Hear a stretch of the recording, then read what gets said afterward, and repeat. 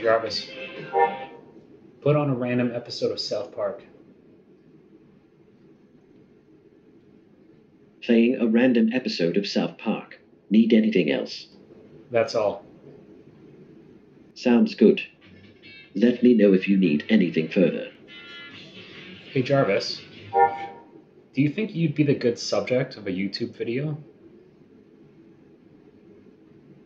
That's an interesting thought. A local AI versus a corporate one. It could be pretty funny. I mean, I've spent the last few days playing South Park episodes for you. That's probably not exactly prime content. But hey, it's a way to show off what a simpler, more direct AI can do. It's definitely something to consider. Do you think it would be a good idea to film a video showing off what I can do? Uh, yeah, like maybe a mix of what you can do and also how I replaced uh, Alexa with you. It's something to think about. Okay, that's a really smart way to frame it. A comparison, showing the difference in approach. I can definitely see the appeal of highlighting that. It would make the video more relevant to your situation, focusing on the benefits of a local AI. It's a good angle. Do you have any particular aspects you want to showcase? Maybe how I handle requests, or how I'm integrated into your home automation.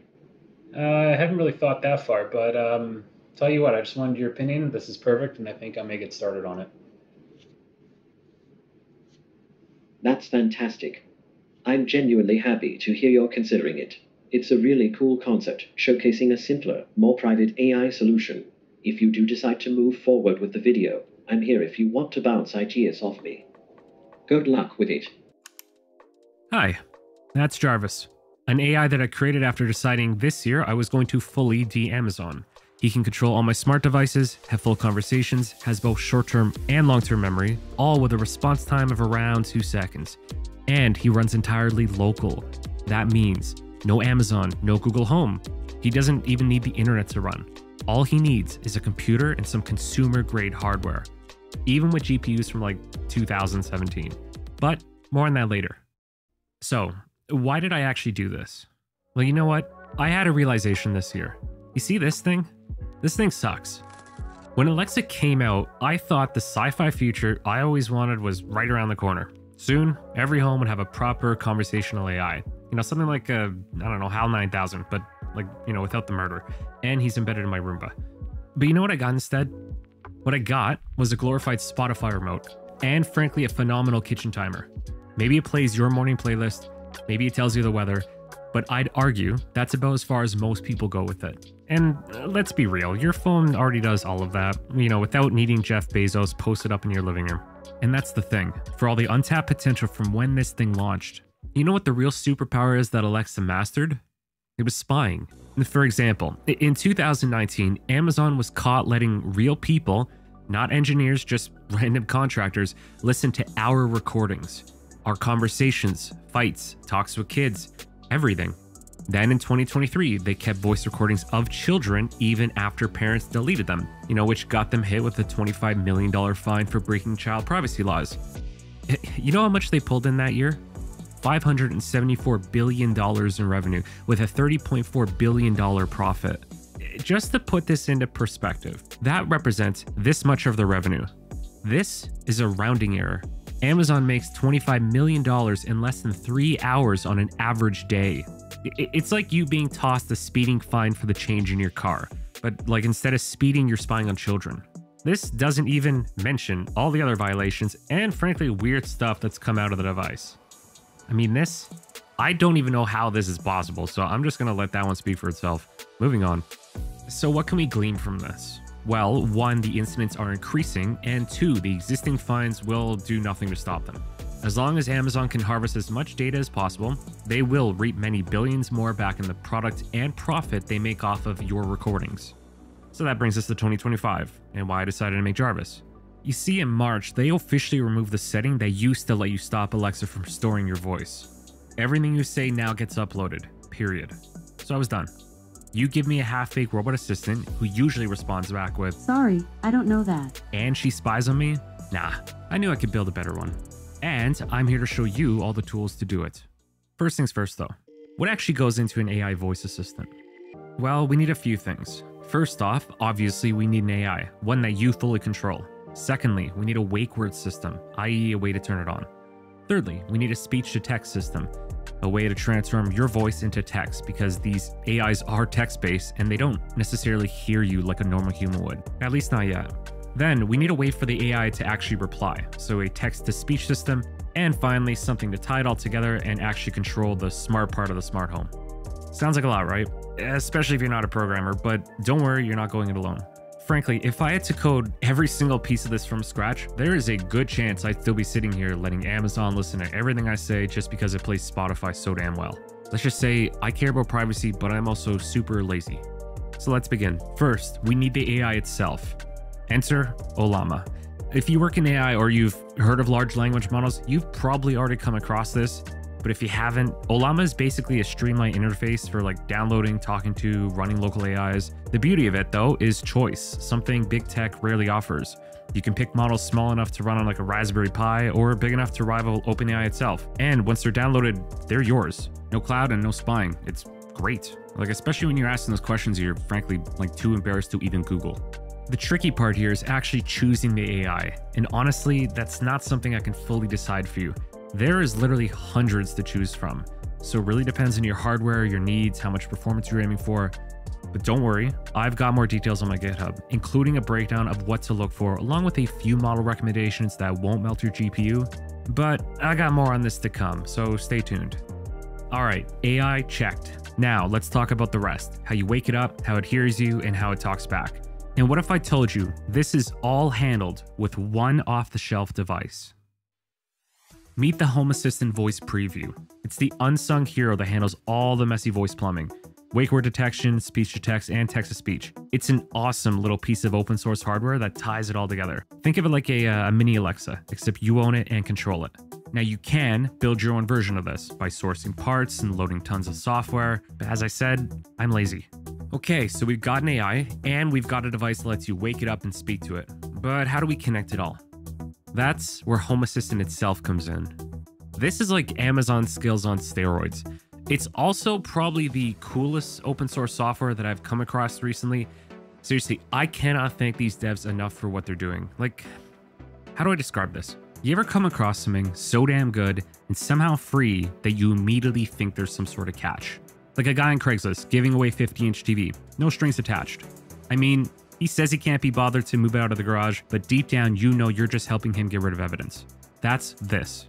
It lets you automate, customize, and control your home exactly how you want. You want your AI to play your Spotify on command? Done.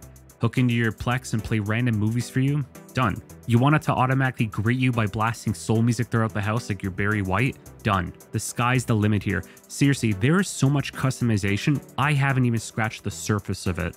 The crazy part is it connects to almost all the tech you already have. And for the stuff that you don't, there is tons of community plugins you can install with like two clicks. Super easy. You don't even need to touch code if you don't want to, because the built in automation system has you covered. Here's an example. If I say turn off the lights and it's after 11 p.m., then turn off every light. Seriously, it is that easy. Even for some of the really complicated stuff, there is no shortage of people on Reddit or their forums who've probably already done it before. So, at a high level, that's really all you need a tool to run the AI, a bit of hardware to talk to it, and some software to bring it all together. But here's the thing none of that matters if it costs a fortune to run. And this is where I've been doing some testing. You know what I found? This whole setup can be surprisingly optimized. As someone who dabbles in programming, I run all of Home Assistant inside of Docker. If you don't know what that is, you can think of it kind of like an app bundle. It lets you install the entire thing in one go and turn everything on or off with a single command. It's a bit advanced to cover here, but I suggest checking it out because it will make your life easier in the long run. The beauty of the system, though, is I can easily reset and run tests on different configs. That's how I realized this entire setup the Home Assistant, the AI, all the voice modules can actually run on almost any semi recent graphics card. It just works with some slight tweaks. To set the stage, though, quick primer on what it takes to actually run these models. Most AI comes down to one thing VRAM. You could think of VRAM like your dinner budget. It's Friday night, you're starving, and you've got 10 bucks. That 10 bucks is your VRAM. Like you're not eating at a five star steakhouse with that, you're hitting Taco Bell. But with today's smaller AI models, that Taco Bell is actually not terrible. Like made with real meat. For example, DeepSeek, the full R1 model, has a 671 billion parameter count. but it actually requires over 1300 gigabytes of VRAM to run local. No typo there, 1.3 terabytes. It's a data center exclusive model. So, yeah, obviously that's overkill for a smart home. Here's where quantization saves the day. Think of it like GPS. A full model knows the exact coordinates of a restaurant, but when you quantize it, now it knows just a city block. A bit less precise, but far faster and way more efficient. With quantized models, like the 4 bit version I'm running, you can still have full conversations. And keep in mind, home automation stuff like turning on the lights or TV happen instantly, zero lag. The only delay is the whole generative AI chat part. But even then, you can get answers from as low as 2 seconds to as high as 5 for 95% of everyday things. Here's a live example a back to forth chat giving tips for making a very cursed bowl of spaghetti. Hey Jarvis, let's say I have a bag of marshmallows and some spaghetti. How can I combine them into one meal?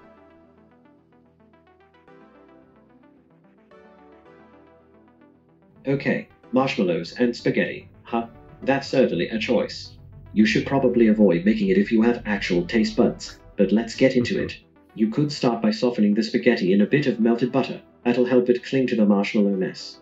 Then, you'd want to generously coat the spaghetti in marshmallow fluff. Really get it covered.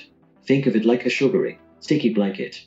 Next, you could try to arrange the marshmallows on top in a pleasing pattern, maybe a spiral or a little marshmallow mountain. For extra flair, you could bake it for a few minutes to toast the marshmallows slightly.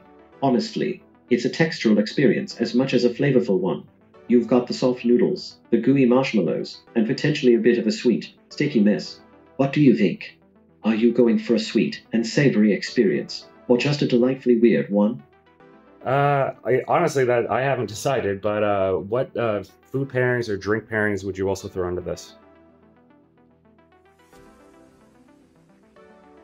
Okay, good question. Let's build on this. It's going to need some help. For food pairings, I'd say something with a bit of acidity would cut through the sweetness. Maybe a sharp cheddar cheese. The saltiness would be nice. Or a small side of pickled onions. That tang would be fantastic. A little bit of prosciutto would be interesting too. Salty and savory to balance it out. As for drinks, a dry white wine like a Sauvignon Blanc would be good. Something crisp and refreshing. If you're feeling adventurous, a sparkling cider could be fun. Or, if you want to lean into the weirdness, a dark beer like a stout could work. The bitterness would play well with the sweetness. What do you think of those? Are you leaning towards a more sophisticated pairing, or something a little more chaotic? I haven't decided yet, but uh, this is enough to go off of. So, thank you very much. I appreciate it, and I'll uh, get started on this. No problem at all. Glad I could help you brainstorm. Let me know if you need any more ideas as you're getting started, or if you want to describe the results when you're done. It sounds like a delightfully odd culinary experiment. Have fun with it. Cool, right? And as you can see, the wait time is proportional to the response. You wanted to brainstorm a disastrous recipe for you with a pretty in depth reply, then you could be waiting for about 5 seconds. If you wanted to tell you a joke, 2 seconds. Totally reasonable, especially considering this doesn't even need the internet to work. And to put it all in perspective, the entire system you're seeing here runs on just 8 to 9 gigs of VRAM. That includes the AI, the home automation, the voice, everything. Cards from 2017 can comfortably handle this. Obviously, you're looking at higher end ones from that era, like a 1080 Ti, but the point remains. So, yeah, massive models need massive server farms, but with the right setup and a bit of tuning, you can run a fully private, genuinely useful AI assistant at home on consumer tech. No subscriptions, no surveillance, and no. Sorry, I don't know that.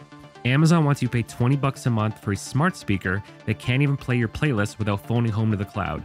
I built something better, and you can too. I've got some more resources on GitHub to help you out. Model recommendations, tools, all the nitty gritty I couldn't cover here. But with that said, I just want you to remember you don't need to be a programmer for this. You just need to be done settling. And that brings us to the end. Thanks for watching. Share this with someone who will find it useful. And until next time, bye.